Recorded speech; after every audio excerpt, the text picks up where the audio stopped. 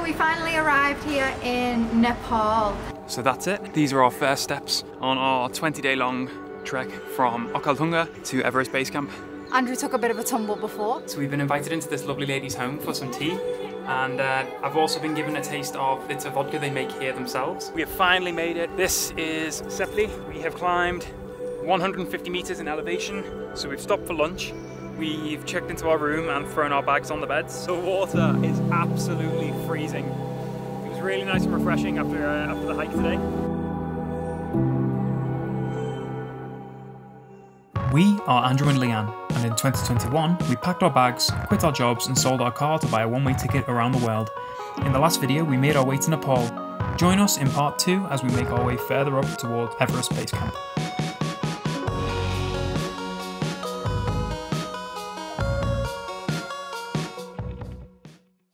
Good morning again from a little village up in the hills. Uh, welcome to the room tour. Uh, sorry if I look absolutely awful. I've not had a proper shower in two days.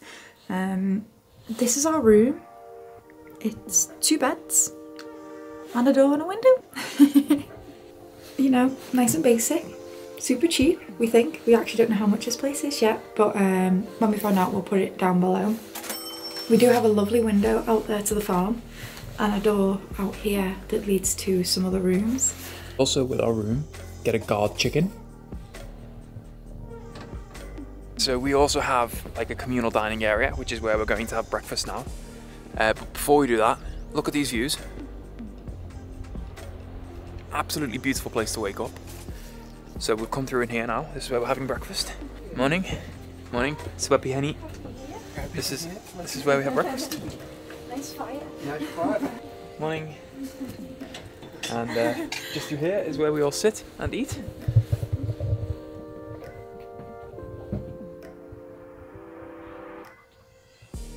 They really make um, make use of all the space, so it doubles up as like a dining area and beds. So this is where the family who own the place sleep, uh, and then they kind of like turn it into a dining area for the guests. Um, we're just gonna go sit by the fire, drink some tea, and then have breakfast.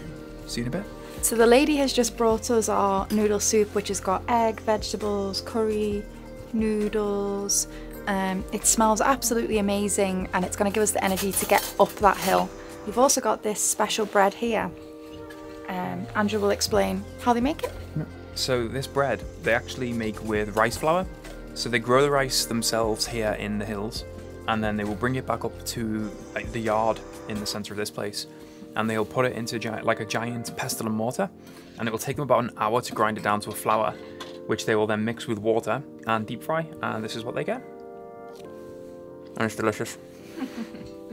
now it's time to head to the John before uh, before we go to climb this. We have to climb this today. So we're going to try and do that before the sun comes up. Down the back, Gigi. Thank you. and that's it. We're off again. I think today is a five hour walk. And what is the name of the town we are going to today, Ram? Maidani. Maidani. Yeah, it's about five hours. It takes about three hours to get to the top of this this ridge, and then apparently it takes about two hours to get back down to what is actually Ram's hometown.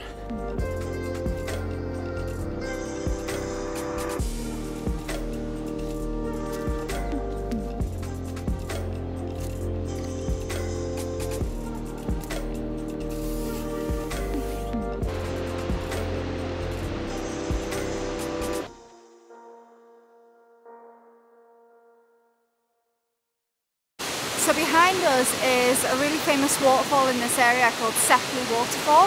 From the bottom to the top is actually 100 metres and you can just hear how powerful it is. Usually in the monsoon season this is massive but at the moment it's the dry season and there's still this much water coming from it. We stopped off at the waterfall, filled our water bottles back up, and now we have to climb these rocks.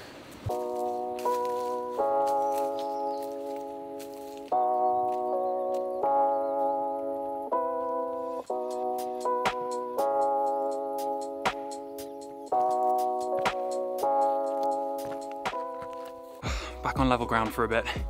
We've made it um, up the majority of the climb today, I think. And now we finally got a nice bit of, of a gentle, gentle climb to the top of this peak. So I think that's the hardest part of today's hike done. It should be mainly level and then downhill once we reach the top. But yeah, so far feeling good. Not too sore. Not sure how Leanne's feeling.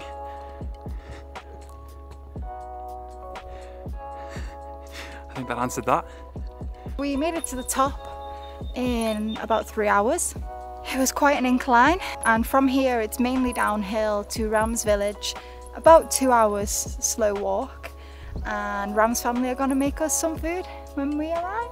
Rehydrate, start again.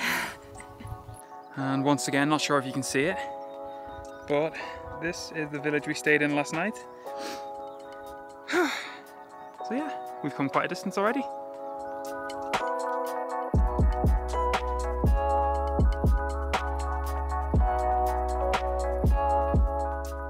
So we've just been told we can come inside this, this house here for some more tea. A nice welcome stop after three hours of hiking uphill. This is one of the traditional Nepalese houses and they just invite you in here for tea. Everything's like made of wood and pots and pans everywhere and everything's filled with like soot from the fire but uh, they still have a TV. Ram was saying that the villages on this side of the valley have electricity. Um, once we get onto the other side of the valley, the houses don't have electricity. So it'd be interesting to see that as well. Sorry, we completely forgot to, uh, to film the tea. It's delicious. It was salted milk tea. Really nice. Slightly sweet, slightly salty, really creamy. Absolute delicious. And now we're back on the road. Watch, Watch my head. Okay. Yeah. Okay. Such a lovely family. Honestly, it's so special to meet families like that and to be welcomed into the home and just have like a cup of tea. Really, really nice. Probably, probably my favorite part of Nepal so far is just going to people's houses and having tea.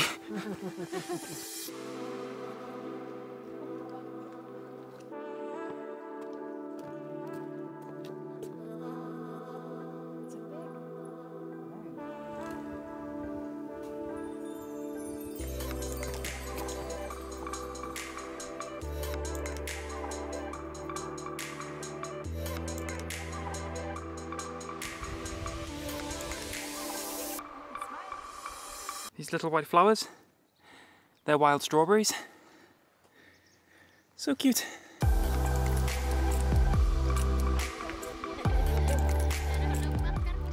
Andrew, watch your neck, really. Be careful. Okay. Be careful. Oh. Careful, careful, careful. That weighed so much. I have no idea how these ladies carry this. It, it was so heavy. How? I feel like a little Yeah. bit like a You are so strong. So strong, yeah. Seriously, have no idea how those ladies carry those baskets. And apparently they've carried them for an hour and a half today already. Absolute madness. I couldn't even pick it up.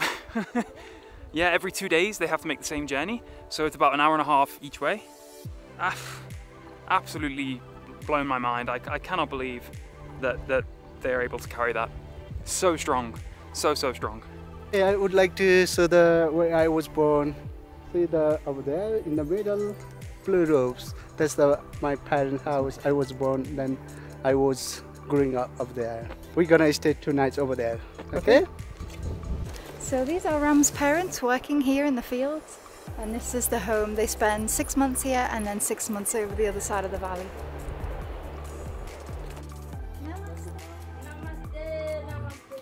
Namaste, Amma. Okay,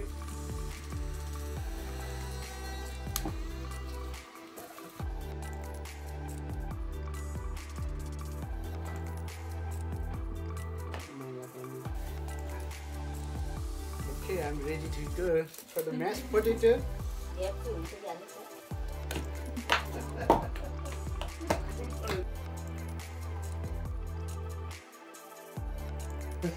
So, I've just been offered Chang. Yesterday, you saw us drink the Roxy.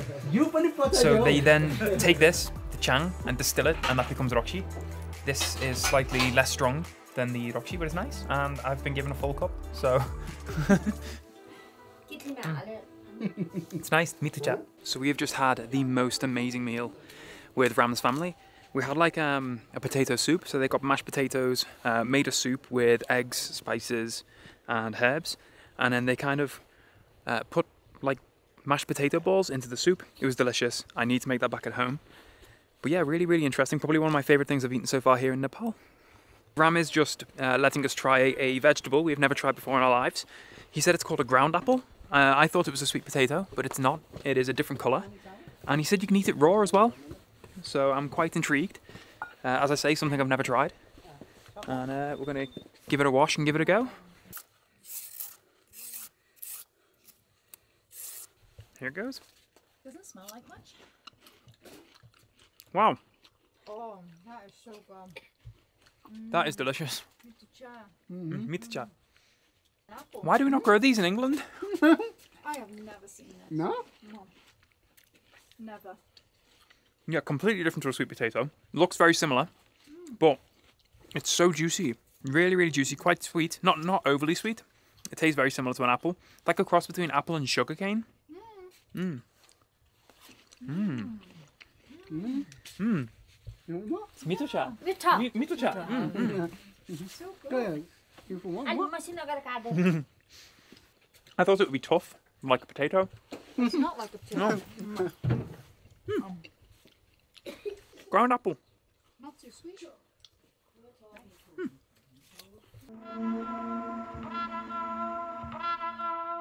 So, day two of the hike complete. Confession cam day two. Namaste. After day two trek, we arrived to my hometown. Uh, feel good today. My toes are still a little bit sore. My feet are super, super sore. I have blisters all at the back. Honestly, blown away by this place. The fact that we've just been invited into Ram's family's home. His name is Danny. Feeling okay? That's Shaju.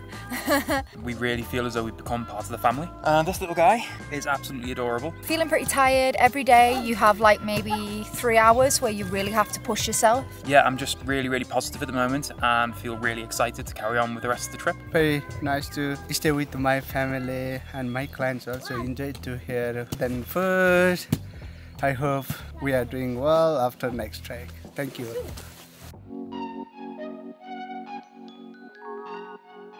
Okay, so day number three of the trek. We are leaving Ram's hometown and we are heading up the mountains. We have five hours of continuous climbing. Uh, we are climbing a peak called Jabra. And I think we are staying near the top. And then tomorrow we go back. Is it back down or up, up, up, up? Just, just up. so in a couple of days we are heading to Piki Peak, uh, which is at an altitude of 4,200 meters. So that will be by far the highest we have climbed so far. Let's see if our uh, our legs can cope.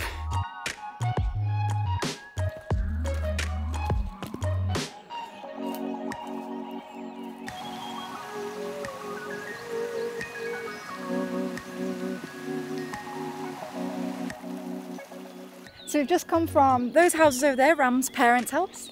And we've come all the way down to the river and come all the way back up again to our resting point. And we're just going to drop some buffalo milk off at uh, one of Ram's relatives' houses. Yeah, we go there. Okay. So the lady here actually has the most random thing ever. Popcorn.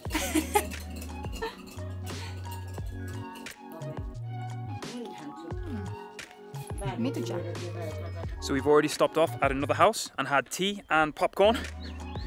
Every single house that we stop at here in Nepal wants to feed us. And we have discovered very quickly that the word no or pugyo, meaning I'm full, means absolutely nothing. They will insist on you having more and more and more. and it becomes difficult to walk up hills because now I weigh about three stone more.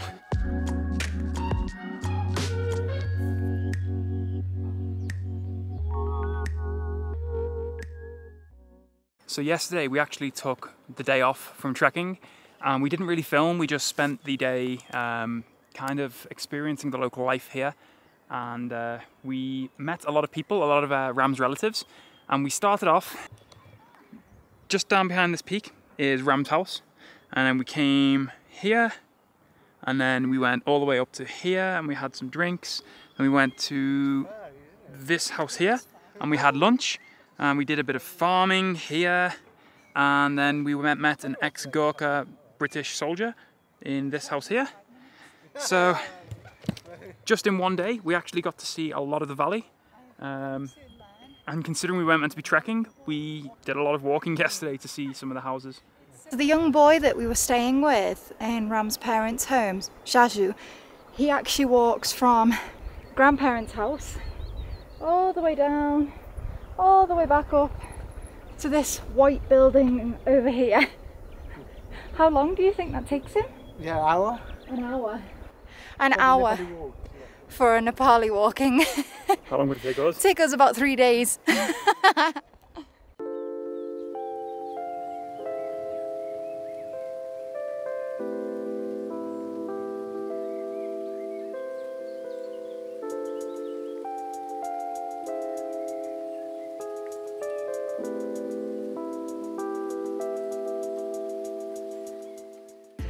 all uphill from here, unfortunately.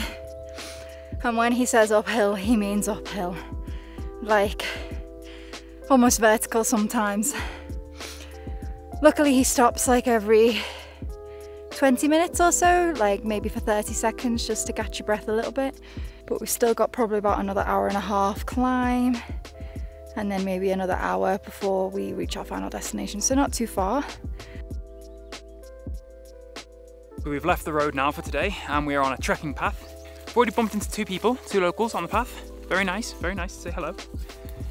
And uh, yeah, nice little path, isn't it, Leanne? Nice path, yeah. Local path, It's especially nice because a lot of it is downhill for the first time all day. And uh, it's nice on the legs.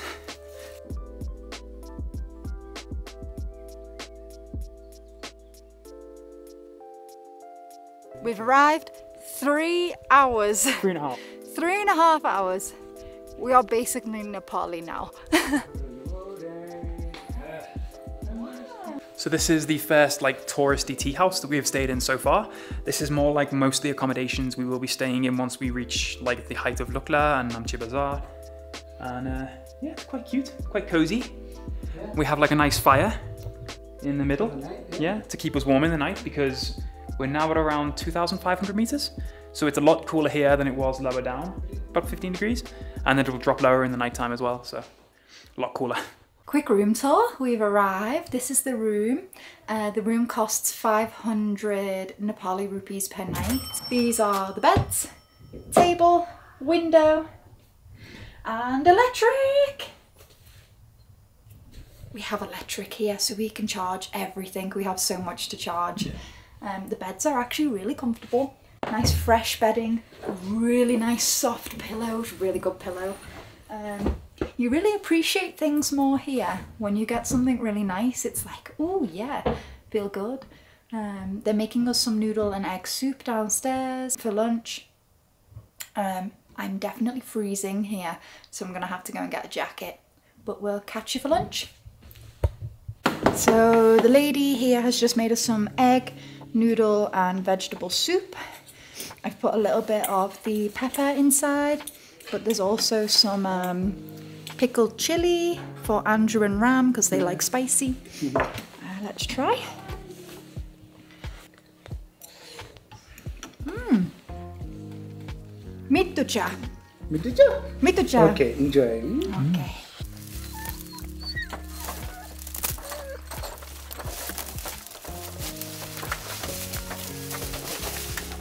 They brought these pigs on the back of a motorbike in two baskets. They've come all the way from Okaldhunga, so quite far on the back of a motorbike. Um, they seem a lot happier in here.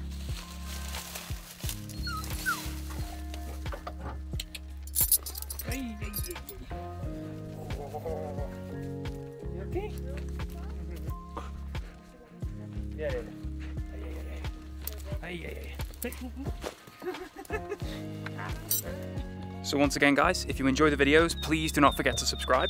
It helps the channel out a lot. And uh, follow us on Instagram as well because we upload daily stories. It's at Lost Knox. And as I say, don't forget to subscribe. Just click down here.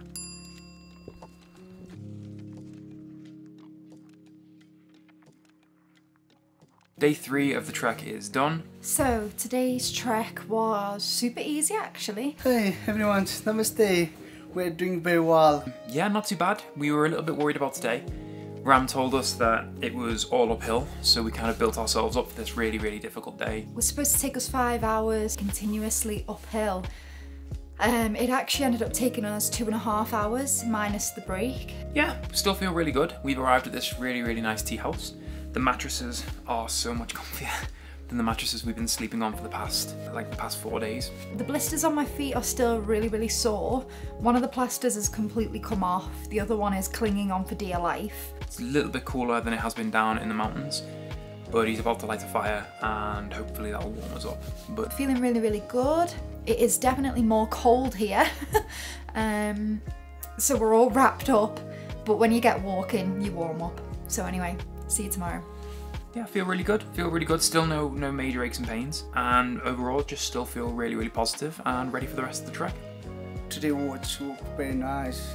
Bit climbing up, but it is good. Nice walk, then nice to see villages and lots of flowers. Lovely day. Thank you.